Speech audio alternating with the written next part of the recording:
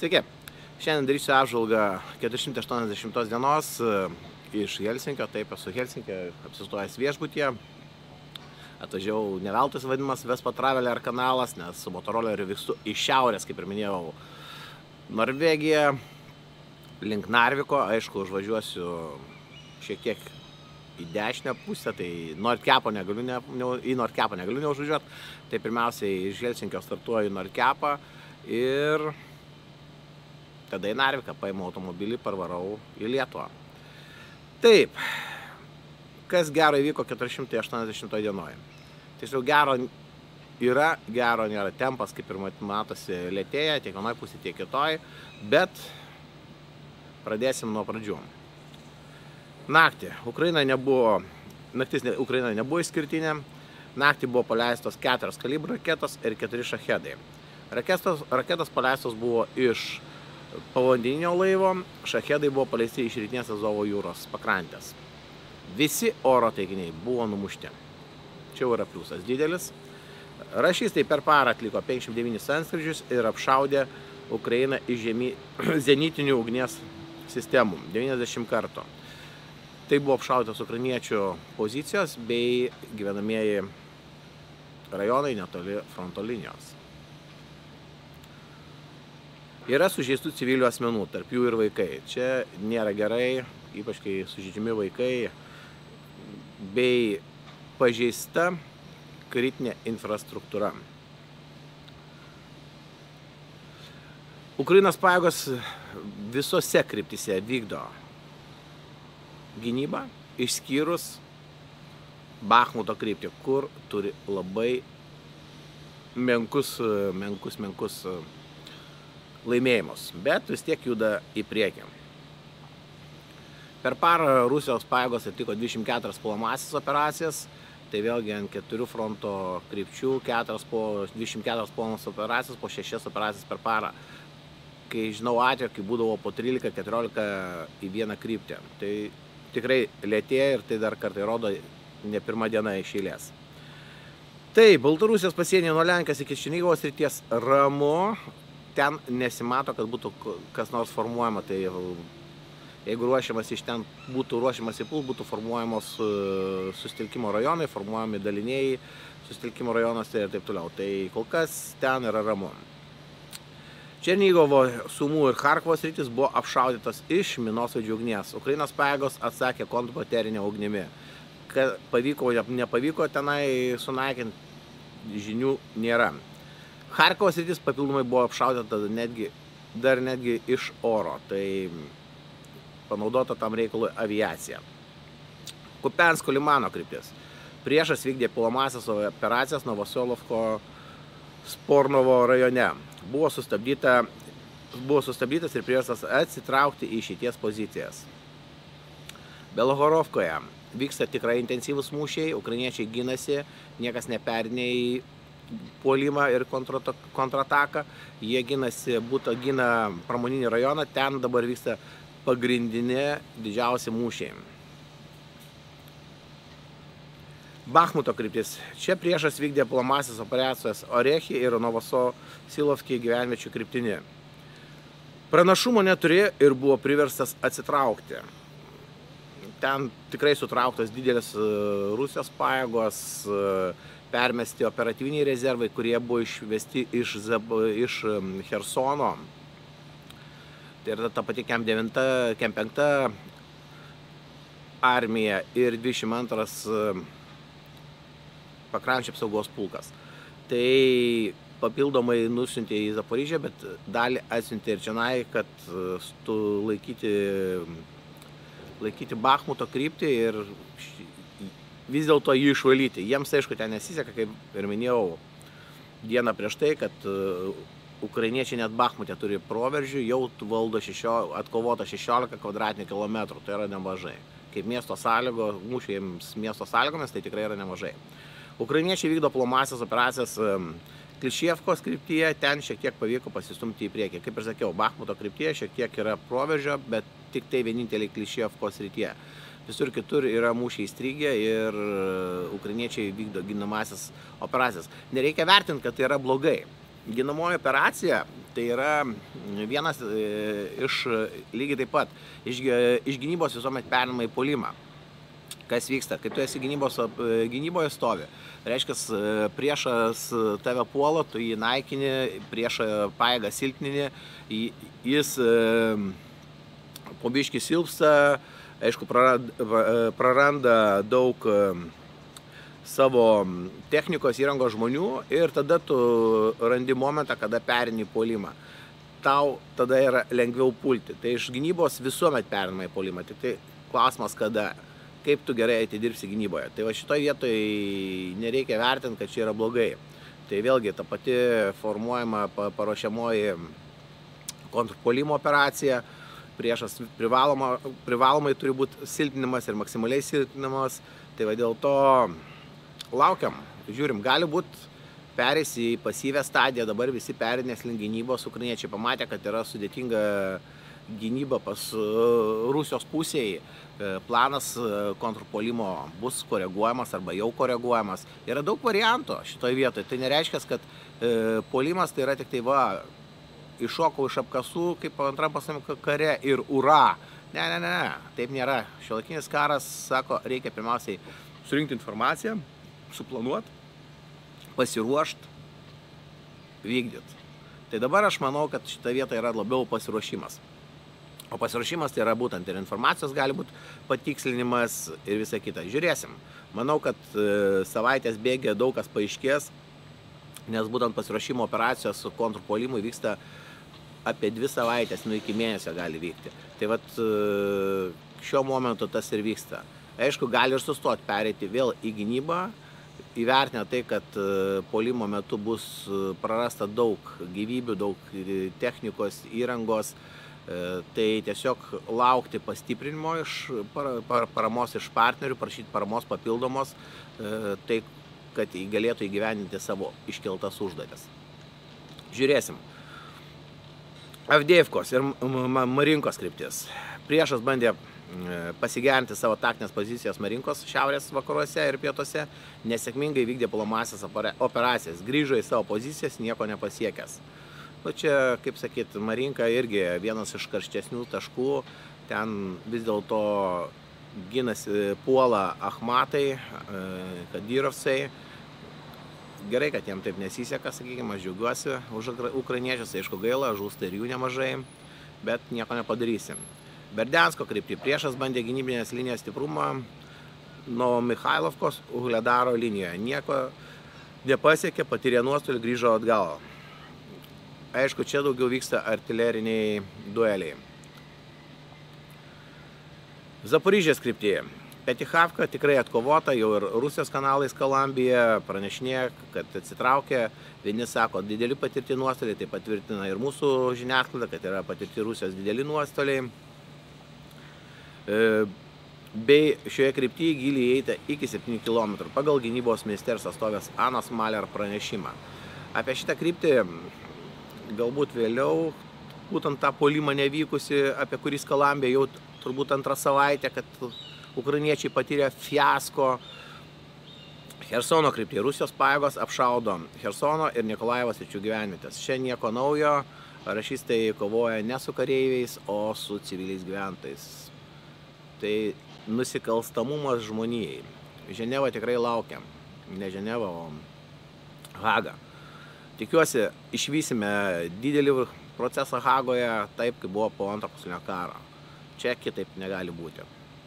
Laukia jūsų Hagos teismas. Ukrainos oro pajėgos atliko 10 oro atakų į priešus selkimo rajonus. Taip pat buvo apšaudytas, e, apšaudytas zenitinis raketinis kompleksas vėl numuštas K-52 tankų žudikas. Per 3 paras ketvirtas. Visai neblogas rezultatas. Sunaikinti šahedai 4, nu, nubausti, nu, oi, atsiprašau, e, nubausti, sakau, numušti. E, taip pat septyni žvalgybiniai dronai. Reaktyvinė ugnies ir artilerijos daliniai sunaikino du valdymo punktus. Va čia jau yra gerai. Valdymo punktai tai vėlgi požymis, kad ruošiamasi kontrpuolimui. Keturi zenitiniai kompleksai. Čia jau irgi gerai, lėktuvai galės ramiau skraidyti, dronai skraidyti. du sustelkimo rajonai ir du šaudmenų sandėliai. Visą tai, kai matom, tikrai neša, parodys e, vėliau, kokia yra nauda būtent, būtent naikinant šitos sandės. Kai matom, perina daugiau prie distancinio kariavimo, tai yra artilerija, reaktyviniai daliniai, lėktuvai. Lėktuvai, aišku, nedaug atliko oro antskridžio, tik 10. Tokioje operacijoje turėtų atlikti minimum, minimum pusantro tūkstančio skrydžio. Aišku, jie neturi galimybės, neturi pajėgumų, bet yra kaip yra. Taip, priešo nuostoliai su, suma, susumaros. 633 kariai sunaikinti, 5 tankai, bei šarvuotos e, šešios pėstininkų kovos mašinos PKM. Nu, BMP kitaip sakoma. 18 artilerijos vienetų, čia labai gerai. 6 oro gynybos, 6 oro gynybos sistemos, irgi labai gerai. Tas pats vienas raiktasparnis, 12 bepiločių bendroji sumoji, 42 automobiliai ir 4 vienetai specialiosios paskirties vienetų. Tokie vat rezultatai šiandien yra 480 dieną pasiekti būtent šitoje kryptyje. Kiek ilgai šiandien aš kalbėsiu, negaliu atsakyti, nes tikrai pavargęs e, noriu kristi lovą, pamiegoti ir ryte anksti startuoti. Aišku, tas anksti įsimiegoti ir visa kita. Taip, e, ką aš minėjau, minėjau, pakalbėsime mes apie tą nesėkmingą polimo, kontrpolimo operaciją, kurią sakė rašystai atmušė, jinai buvo nesėkminga kad jinai nesėkminga, tai aš pasakysiu taip, bet ir paprieštarausiu, jinai yra sėkminga, nes išmoktos pamokos. O nesėkminga dėl, dėl ko? E, dėl to, kad pirmas dalykas buvo prarasta technika ir žmonės. Čia yra normalus dalykas. Polimo operacijose, netgi gynyboje tu prarandi žmonės. E, tai supraskim, reikia su to susitaikyti, e, kad technikos bus prarasta, žmonių prarasta. Antras dalykas, už, nepamirškim vieno dalyko. Dėl ko kovoja ukrainiečiai? Ogi dėl savo laisvės, savo nepriklausomybės. Ir už tai jie deda galvas. Lygiai mes tą patį darėme per savo 18 metų nepriklausomybės kovas, kai kovojom už Lietuvą. Tai, sakykime, tai yra suprantama. Tik aišku, jie aukoja didžiulę kainą žmonių gyvybėmis, savo žmonių gyvybėmis. Taip pat e, savanorių, kurie prisijungia prie jų dalinių, jų gyvybėmis. Bet ta kaina turbūt bus atsipirksiems. O, ir aš nesakau, kad jie tenai prarado kažką nesėkmingą, kaip sakyti, sakiau, nesėkmingą, bet sakau, tai yra tikrai sėkmė. Jie supranta, už ką kovoja. Tai yra didelė vertybė. O antras dalykas, nesėkmė tai yra tame, kad neprarado techniką, o dėl to, kad nesugebėjo evakuoti technikos, išsivesti, išnešti žuvusių kūnų.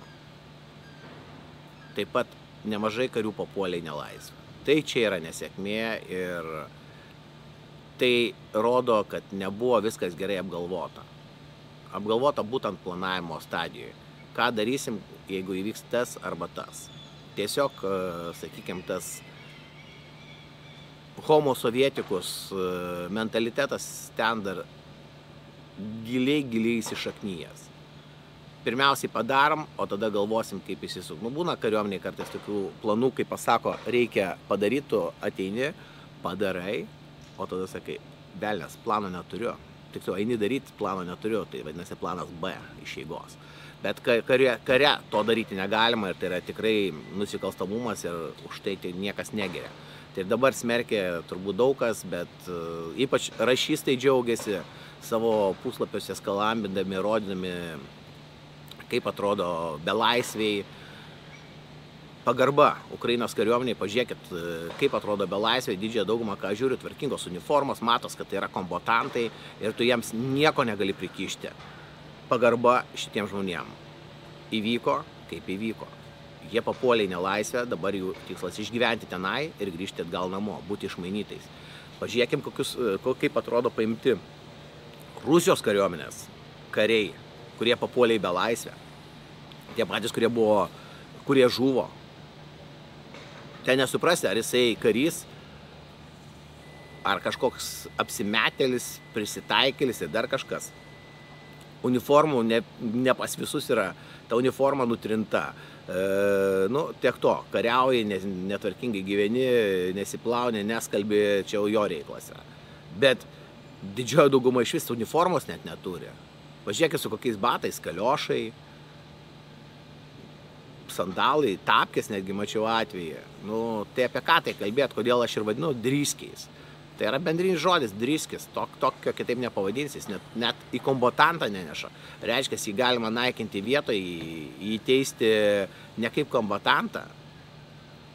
Tas pats cirkas padarytas Maskvoje su kombatantais, kurie turėjo skiriamuosius ženklus, turėjo požymius, kad, kad, jos, kad jie dalyvauja kare kaip e, kariai, nes tai yra sutartis, už jų, už jų stojo valstybė ir juos teisė, tai yra Azovo kariai, Azov, Azov stalio gynėjai.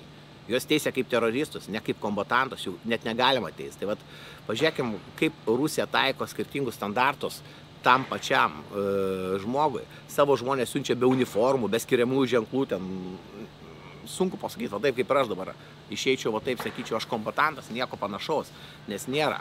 Nieko, nei laipsnių, nei e, ant siuvų, nei vėliavėlių, nieko nėra. Tai kas aš esu? Aš esu banditas, va tokioj stadijoje, jeigu taip kariaučiau. Tai va, trumpai apie šitą situaciją. Taip, e, manau, kad e, kontrpolimas pavyks. Jeigu ne šį kartą, jisai bus pristabdytas, kai matom, kvailai neina, nemeta kol kas žmonių be apgalvojimų į priekį. Ir paruoš planą, pasitars galbūt biškės įsės ant žemės, pasitars su partneriais ir jį gyvendins. Taip, e, vakar iš tikrųjų kalbėjau su vienu įdomiu žmogum, jis slepiasi už eterį, labai nenori savęs įvardinti, bet e, bendravo su ukrainiečių kariais, labai įdomiai, įdomiom temom ir pasakė vieną įdomų dalyką. Sako, dronai padeda išgelbėti gyvybės, bet dronai ir žudo. Sakau, kaip suprasti. O sako labai paprastai, žiūrėk, sako, turėjom situaciją, čia kuopas vadas greičiausiai buvo, sako, aš esu pozicijoje, ten dronas skraido, savo karius patraukiau iš tos pozicijos, kur yra žmonės. Nes ten prasidėjo didelis aktyvus apšaudimas. Vadas, pamatęs, kad ten nėra karių, pasakė, gražink karius į vietą. Sako, aš negaliu ten, nu, apšaudoma visą kitą. Jokio skirtumo gražink karius. Ir prasideda spaudimas. Kaip tai atrodė, nu, nereikia e, gilintis. Žmogus priverčiamas, kadangi vyresnysis vadas, aišku, neteisingas įsakymas, čia dar daug klaustukų, bet to sovietizmo dar yra būtent. Jisai gražino tos žmonės ir vienas pataikymas yra žuvusių. Tai vad e, dronai žudikai, nes vadas pamatė, kad nėra karių toj vietoje priėmė sprendimą, kad čia turi būti kariai, tai yra centralizuoto valdymo. Aišku, centralizuotas valdymas, apie tai biški norėčiau pakalbėti, kas yra centralizuotas valdymas ir decentralizuotas, kad mes sukalbėtume vienodai. Tai va, pasinaudodamas savo centralizuoto valdymu, tai yra grinai. Jis vadovauja iš štabo operacijai, kaip ją įvykdyti, kur sėdėti, kaip judėti ir taip toliau. Tai va, čia yra centralizuoto valdymo požymis. Aišku, kariuomenė valdoma centralizuotai, vis, vis, su viskuo sutinku. Ateina įsakymas, gauni operaciją, gauni užduoti, ją išsiaiškinti. Tai yra, ateina centralizuotai, nes tu vykdai bendrą planą. Bet pačią užduotį vykdai jau pats. Tu priemi sprendimą, kaip ją įgyvendinti, kur statyti karius, kur perėti gynybą, kur perėti polimą ir taip toliau ir taip toliau. Tai šitoje vietoje pas ukrainiečius šito dažniausiai nėra. Vadas pasakė, vykdai, taip kaip aš pasakiau. Tai va čia yra centralizuoto valdymo pasiekmes. Tai yra mm, netleidžiama, bet vėlgi reikia suprasti, kad e, didžioji dauguma mokėsi sovietinės taktikos. Ir, ir vat, jaunieji karininkai jau supranta, kad reikia pačiam priimti mūšio laukia sprendimą, kur geriau stovėti. Ne kur vadas nurodė, o kur pats e, matai, nes tu esi mūšio laukia, tavo karys yra mūšio laukia. Ir jis turi priimti, užimti tam tikrą poziciją, kad išgyventų ir pasiektų rezultato, o neįvykdytų įsakymą, kad būtent šitoj vietoj tu privalai stovėti šitam taške. Tam yra duodamas gynybai, polimai, dėžutė tą vadinamą arba tavo sektorius, kuriame tu dirbi.